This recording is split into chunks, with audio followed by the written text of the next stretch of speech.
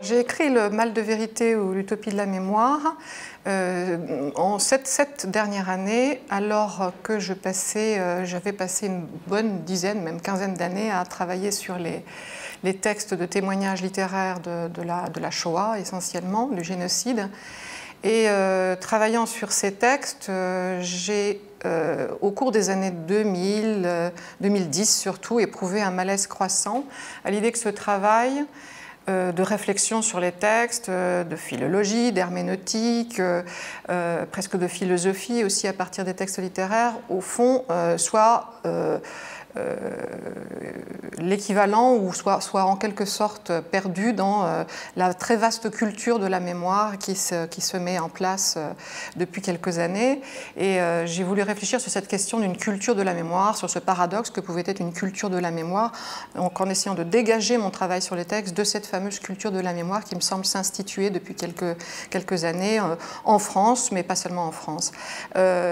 culture de la mémoire, c'est un paradoxe en soi, puisque euh, la question que je me pose, c'est pourquoi euh, la mémoire euh, occidentale, notre mémoire, de notre dette, en quelque sorte, à l'égard de l'héritage historique des grandes catastrophes du XXe siècle, se transforme en culture, alors que ce qui s'est joué dans ces catastrophes historiques on le désigne souvent sous le nom de barbarie et, euh, euh, et, on estime que s'y est joué, s'y est réalisé une sorte d'effondrement de la culture. Donc c'est ce paradoxe-là que j'essaie euh, d'interroger. Ce qui m'intéresse, ce ne sont pas, c'est pas de faire une critique des, abus de mémoire, hein, comme on l'a fait déjà dans les années 90, par Todorov et d'autres.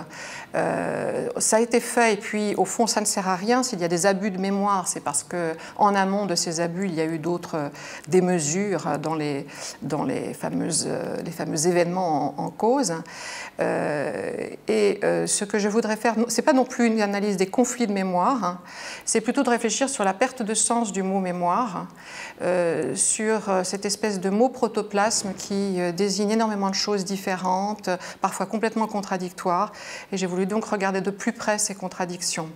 je me suis interrogée sur le caractère de plus en plus peut-être régulateur hein, euh, parfois conformiste aussi, euh, de cette culture de la mémoire, euh, qui a tendance à s'instituer en morale, mais presque aussi en religion, avec ses codes, ses rituels, son catéchisme, une religion dont peut-être la, foi ou le langage serait le témoignage. Et là, je me suis posé la question de ce qu'était en train de devenir le témoignage dans les, discours publics, dans les discours politiques aussi, dans les médias. Euh, et il m'a semblé que euh, cette, mutation, cette espèce de mutation culturelle du témoignage posait problème. Euh, il y a une sorte de sacralisation du témoin dans nos sociétés occidentales aujourd'hui, et en France c'est assez, assez sensible. et cette sacralisation, je pense qu'elle est ambiguë parce qu'elle elle consiste au fond à euh, bah, donner grande importance aux témoins, mais au fond en le prenant en otage d'un langage euh, euh, de la commémoration, d'un langage presque signalétique contre lequel ces, ces, ces, témoins, ces survivants se sont souvent insurgés. plus ou moins discrètement. Et d'autre part, on se donne aussi pour mission de prendre le relais de ces témoins survivants. Et dans cette grande opération du relais nécessaire à la fameuse transmission, euh, il y a quelque chose comme, à mon avis, euh, un coup de force souvent, euh, qui se cristallise peut-être dans cette formule qu'on voit beaucoup, beaucoup, qu'on entend beaucoup en ce moment, qui s'appelle le passage de témoin ou le témoin de témoin. il me semble bien qu'il y a quelque chose qui se met de, presque apostolique, hein, une espèce d'évangile du témoin. qui, qui, là aussi pose problème. Il me semble qu'il y a une christianisation de la mémoire de la Shoah en particulier, euh, euh, qu'il faut interroger peut-être. Euh, il faut l'interroger aussi, bon, il faut l'interroger aussi parce que ça se dilue le mot témoin considérablement. Mais c'est, je pense aussi, les effets, les, les, effets de cette culture de la mémoire que, que j'ai voulu interroger. au plan politique, il y a une espèce de ratage pour moi de la transmission, hein, de ratage partiel au moins. On est dans, une, dans un secteur institué politisé maintenant et même académisé hein, de la culture euh, avec l'essor des études mémorielles. Euh, euh, cette institutionnalisation ne nous permet pas, en fait, hein, d'affronter, me semble-t-il, notre présent politique en particulier. C'est-à-dire que cette institutionnalisation, cette académisation des études mémorielles s'est faite au prix de, points aveugles euh, assez euh, importants. Et euh, l'un des, des, problèmes étant ceux de l'articulation qui manque entre les mémoires occidentales, précisément, et les mémoires non occidentales orientale, moyenne-orientale surtout, et c'est évidemment un problème qui, se, euh, qui se, nous, nous, rejoint avec la violence qu'on sait euh, actuellement. Euh, donc ce que j'ai voulu essayer de faire, c'est de, de, radiographier toutes ces variations de, de cette culture mémorielle et de faire une espèce de, de les déchiffrer, faire une espèce d'herméneutique de la mémoire.